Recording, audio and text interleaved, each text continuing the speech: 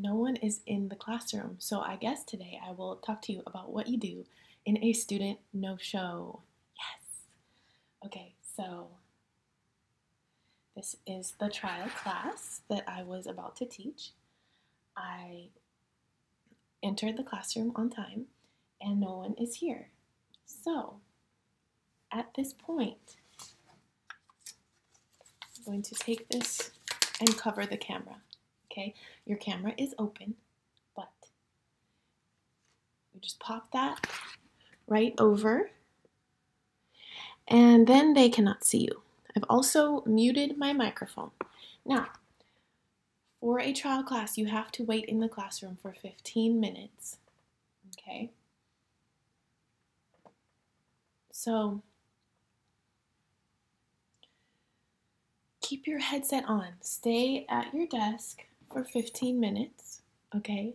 Do something else. Um, because if you take your headset off and they show up in the class, you won't hear them, right? Um, there is a little trick that you can do.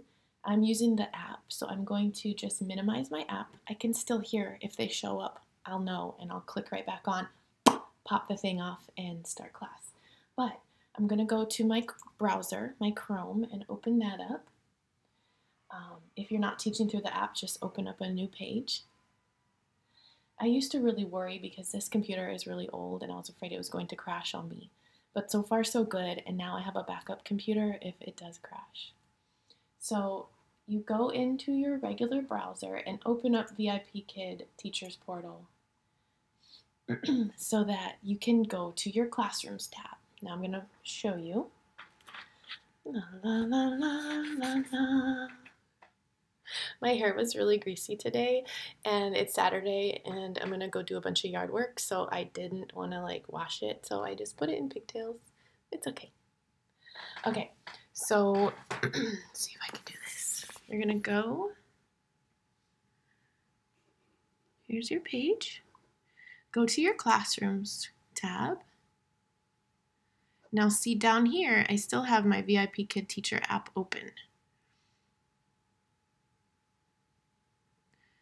See, this is my, this is where the student is not here and I'm at two minutes and just waiting. So I minimize that and now I'm in my teacher portal through my browser. Now I'm gonna look and see. This is my eight o'clock class. It doesn't say student no show, so I still have to stay in the class. But I'm going to leave this open because once it says student no show, I can leave the classroom even if it's not at 15 minutes. Okay, what is recommended is that when you do leave the classroom, that you take a screenshot that you were there. Okay, so some people want to play it safe and they will want to take a screenshot at the beginning of class, stay 15 minutes, take a screenshot at the 15, and then leave. Um, I haven't had any problems yet checking when it says no show and then leaving. You probably want to take a screenshot of the no show and it shows the time on your screen and a screenshot of when you left the classroom.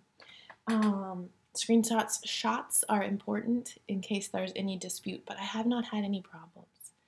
So personally, I recommend that you do open another browser, go in your classrooms and see if it says no show. Now you want to refresh every so often because, you know, just to see if it showed up yet. And every once in a while, I pop back over to my classroom and see there's still no one here. I'm at four minutes. Okay, so I'm gonna hang out and do something while I wait.